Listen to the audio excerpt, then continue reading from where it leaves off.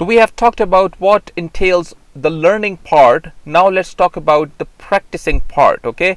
Now where can you do practice of what you have learned? If you have access to a test Oracle applications environment, then you can ask your system administrator if you can use that to practice what you're learning okay but if you do not have access to Oracle applications then you can install Oracle applications on your computer it is available for download for free from Oracle website. However uh, the steps required to install uh, may be a little bit technical for uh, newcomers. So what I have done is on my website I have shown you in a step-by-step -step, uh, fashion how to install Oracle applications okay?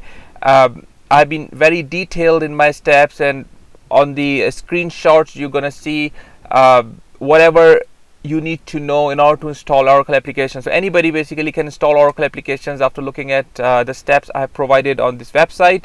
Okay, so this will give you an environment to practice Oracle applications as well as it will give you a knowledge of how to install Oracle applications.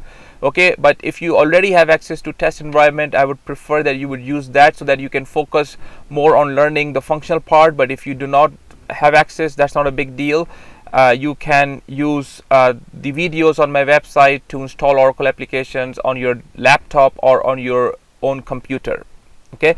So having said that now you know what it would take for a beginner to become Oracle Financials functional consultant.